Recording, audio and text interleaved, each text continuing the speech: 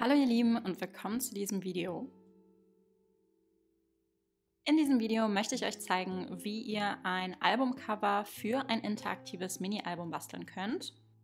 Das Basteln des Albumcovers ist nämlich der erste Schritt von insgesamt fünf Schritten, um ein interaktives Mini-Album zu basteln. Und ich bastel meine interaktiven Mini-Alben immer nach so einem Mix-and-Match-System, bei dem ihr aus bis zu 50 verschiedenen interaktiven Seiten auswählen könnt, welche Seiten ihr in eurem Album benutzen wollt. Diese könnt ihr dann ganz beliebig kombinieren und auch dekorieren. Aber für mehr Informationen zu dem System und auch was ihr dafür braucht, empfehle ich euch auf jeden Fall dieses Informationsvideo, das ich einmal hier oben rechts verlinke und ihr findet es selbstverständlich auch in der Infobox. Falls ihr es noch nicht gesehen habt, dann schlage ich vor, dass ihr euch das zuerst anguckt, bevor ihr mit diesem Video hier weitermacht. Und damit würde ich dann jetzt auch mit dem Video für heute starten. Und wie gesagt, ist das der erste Schritt, um dieses interaktive Album zu basteln. Aber ihr müsst euch natürlich vorher schon für eine Albumgröße entschieden haben.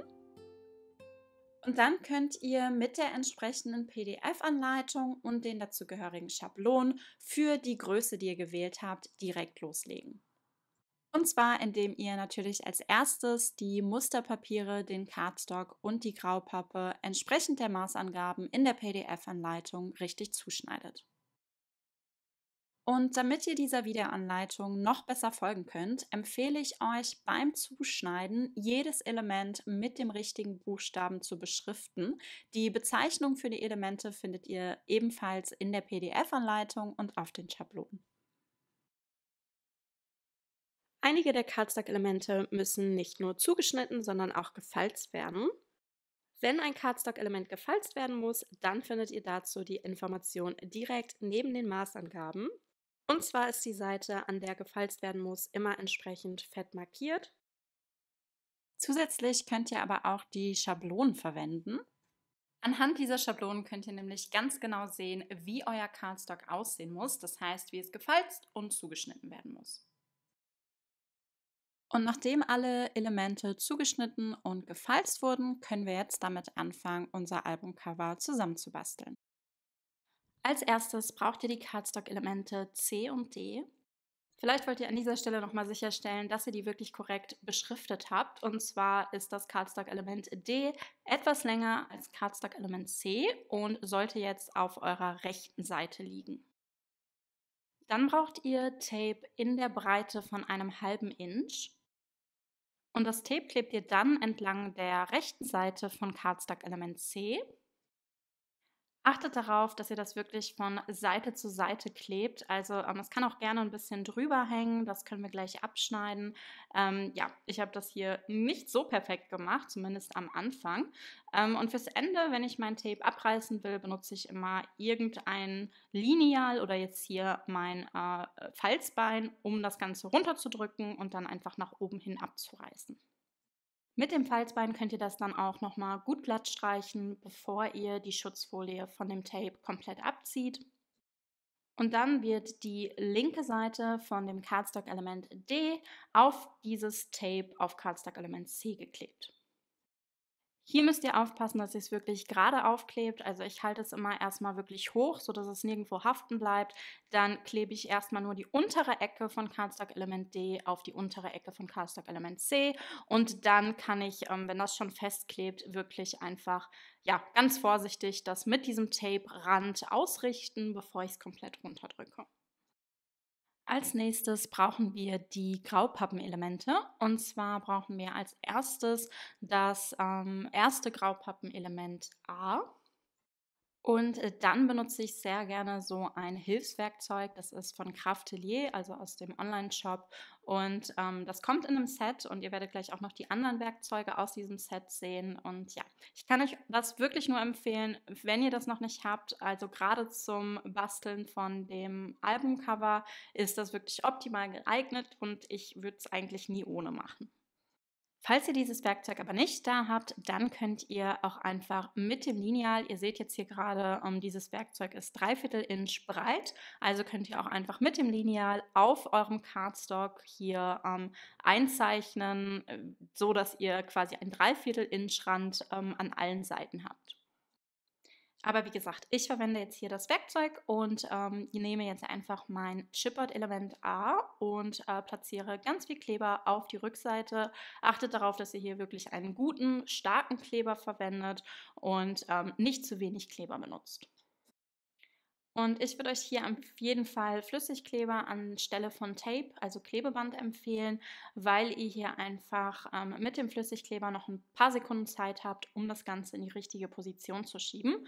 Und zwar lege ich das jetzt einfach an meinem Werkzeug an und ich kann dann das Werkzeug und auch das Chipboard noch ein bisschen verschieben, so dass ich dann auch wirklich einen geraden Rand, wie gesagt, von dreiviertel Inch um mein Chipboard-Element herum habe.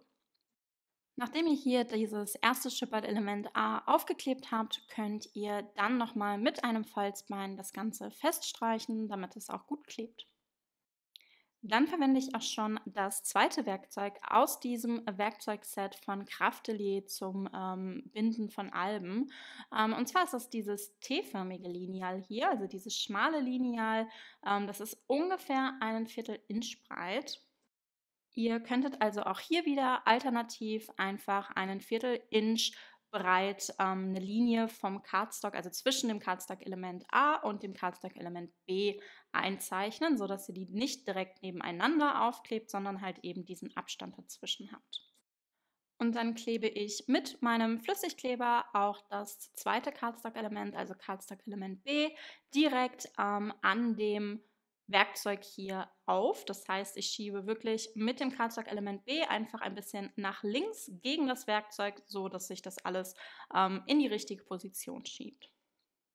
Und mit diesem L-förmigen Lineal überprüfe ich dann auch wieder, ob das alles gerade liegt.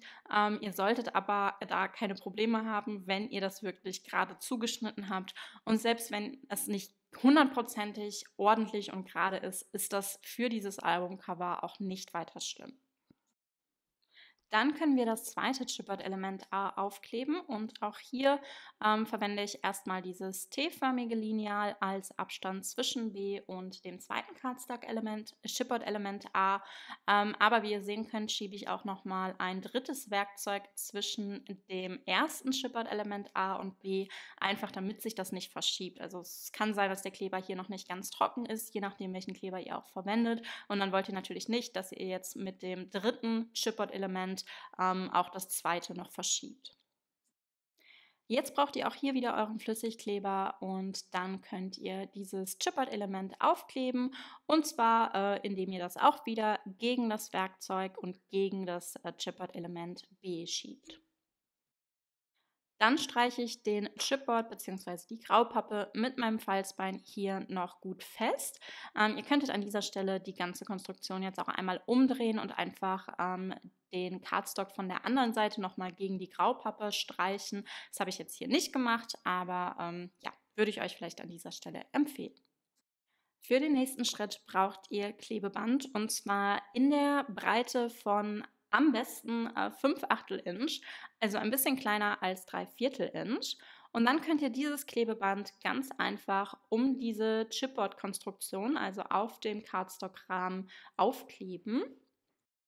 Und zwar auch hier wieder von Seite zu Seite, aber hier ist es jetzt nicht so wichtig, dass es wirklich ähm, ja, bis ganz in die Ecke geht, weil wir die Ecken gleich eh noch abschneiden. Ähm, da, wo sich aber zwei Klebebänder quasi treffen, also von, von der rechten Seite und dann von der unteren Seite jetzt hier zum Beispiel, solltet ihr darauf achten, dass ihr das wirklich ähm, ohne Lücke aufklebt. Äh, warum, erkläre ich euch gleich nochmal. Nachdem ihr alle Seiten mit dem Klebeband bedeckt habt, würde ich euch auch wieder empfehlen, hier mit dem Falzbein das Ganze nochmal gut festzustreichen. Und jetzt brauchen wir das nächste Werkzeug aus diesem Werkzeugset. Und zwar ist das hier dieses Werkzeug, um die Ecken zuzuschneiden. Und das könnt ihr ganz einfach auf die Ecken legen und dann habt ihr wirklich den perfekten Winkel, in dem ihr eure Ecken abschneiden wollt. Ich verwende jetzt hier dieses Werkzeug und zeichne es dann mit dem Bleistift erstmal an. Und das mache ich natürlich für alle vier Ecken. Und dann könnt ihr mit der Schere diese angezeichneten Ecken einfach abschneiden. Falls ihr dieses Werkzeug jetzt nicht benutzt, könnt ihr auch einfach mit der Schere ungefähr in diesem Winkel ähm, eure Ecken abschneiden. Hier müsst ihr nur darauf achten, dass ihr nicht direkt an der Ecke von der Graupappe schneidet, sondern dass ihr immer noch so einen kleinen Abstand zwischen der Ecke der Graupappe und dann der Ecke oder abgeschnittenen Ecke, dem Rand des Cardstocks habt. Wenn ihr die Ecken nämlich zu nah an der Ecke der Graupappe abschneidet, dann habt ihr später beim Einschlagen des Covers das Problem, dass ihr ähm, diese Ecken, also die Graupappenecken, noch so rausstehen habt. Deswegen achtet wirklich darauf, dass ihr hier diesen kleinen Abstand lasst. Bevor ich die Seiten jetzt umschlage, gehe ich hin und falte das Ganze erstmal vor. Das macht es dann einfach einfacher, das gleich ähm, mit Entfernung der Schutzfolie vom Klebeband auch wirklich gerade aufzukleben. Also das würde ich euch an dieser Stelle empfehlen. Lasst die Schutzfolie noch auf dem Klebeband drauf und knickt dann erstmal diesen Cardstock-Rand nach oben. Und dann könnt ihr nämlich auch euer Falzbein nehmen und diese ganze Konstruktion einfach aufstellen und dann wirklich von der Seite mit dem Falzbein diesen Cardstock an das Chipper drücken. Und das mache ich natürlich auch wieder für alle vier Seiten. Nachdem ihr jetzt alle vier Seiten vorgefalzt habt, könnt ihr anfangen und das Klebeband von der ersten Seite entfernen. Und ich fange dafür immer gerne mit der untersten langen Seite an.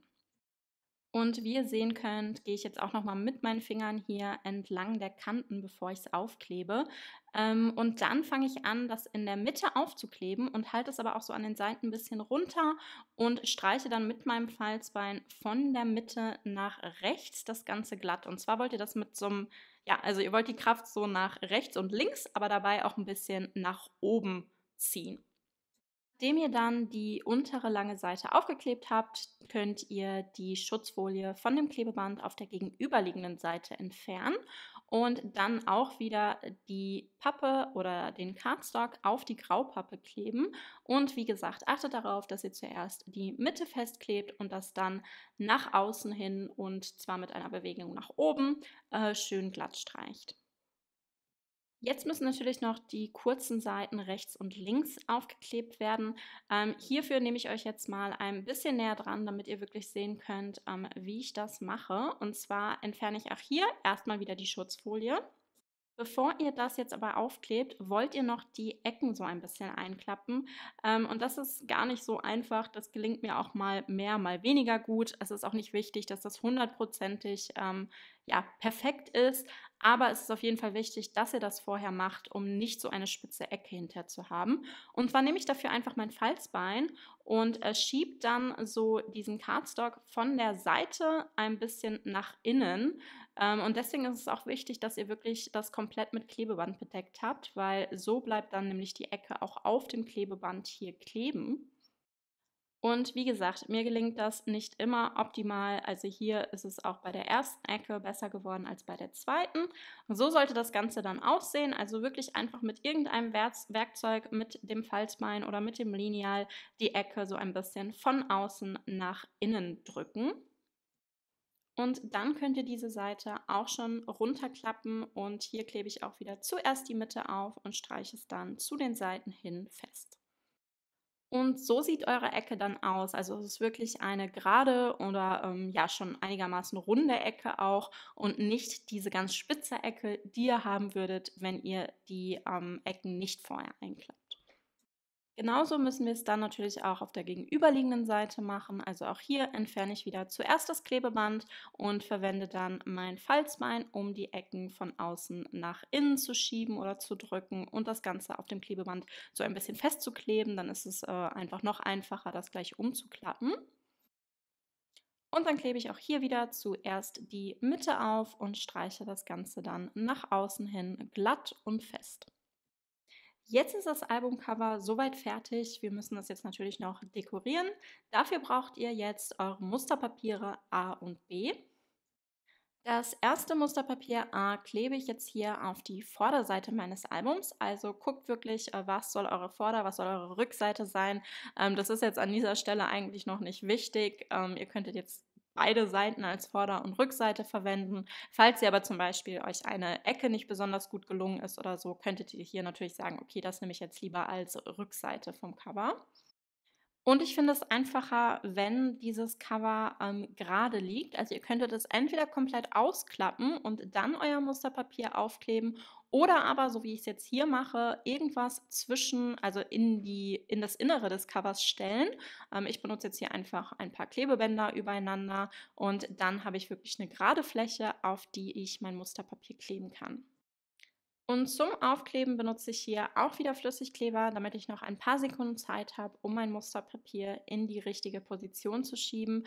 Und was ich euch auch immer empfehlen würde, ähm, wenn ihr irgendwas gerade aufkleben wollt, also ich stehe wirklich dann gerne beim Basteln auch mal auf, sodass ich wirklich von oben ähm, ja, in einem richtigen Winkel auf mein Papier gucke und äh, dann sehe ich auf jeden Fall besser, ob ich einen ebenmäßigen, also einen geraden Rand um mein Musterpapier herum habe oder nicht.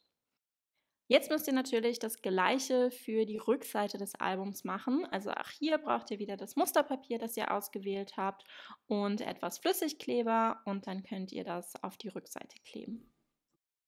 Und auch hier verwende ich wieder mein Falzbein, um das Ganze gut festzustreichen. Und dafür ist es am besten, wenn ihr dieses Album wieder einmal komplett ausbreitet, sodass ihr wirklich unter euren ähm, Albumcoverseiten äh, die Tischfläche habt und das Ganze dann wirklich äh, feststreichen könnt. Und so klebe ich jetzt auch das Musterpapier B auf. Also ich benutze auch wieder meinen Flüssigkleber und klebe das dann auf den Albumrücken, heißt es, glaube ich. Ähm, genau. Und auch hier achte ich wieder darauf, dass ich das gut in die Mitte klebe. Und vor allem wollt ihr jetzt, wenn ihr das so aufklebt, ähm, darauf achten, dass ihr nicht irgendwie über den Rand klebt. Deswegen äh, falte ich mein Album jetzt hier auch nochmal zusammen, dann kann ich es einfach besser sehen und zur Not nochmal etwas nach links oder rechts verschieben. Wenn ihr euer Albumcover jetzt mit dem Musterpapier beklebt habt, ihr könnt hier natürlich jetzt auch hingehen und das alles noch dekorieren. Ich habe jetzt hier auch zum Demonstrieren einfach nur dieses einfarbige blaue Papier verwendet, weil ich dieses Album wahrscheinlich so als Musteralbum einfach äh, behalten werde. Ähm, aber wenn ihr damit fertig seid, wollt ihr jetzt natürlich noch euer Geschenkband zum Verschluss hinzufügen. Dafür klappe ich mein Album wieder auf und dann messe ich an den Seiten links und rechts jeweils die Mitte von links und rechts aus ähm, und markiere das dann direkt auf dem Chipboard, also direkt neben diesem Cardstock-Rahmen. Und jetzt verwende ich zwei Ösen und zwar benutze ich hier gerne diese breiten Ösen. Ihr könntet aber auch eine ganz normale Öse benutzen. Ähm, und dann benutze ich auch noch meine Crocodile von Via Makers. Also ihr braucht auf jeden Fall jetzt irgendein ähm, Ösenwerkzeug zum Setzen dieser Ösen. Mit dem Werkzeug müsst ihr dann zuerst ähm, an eurer Markierung lochen. Und zwar ist das ähm, diese groß, größere Lochgröße, also zumindest wenn ihr auch die Crocodile benutzt, dann wollt ihr das größere von beiden Löchern verwenden.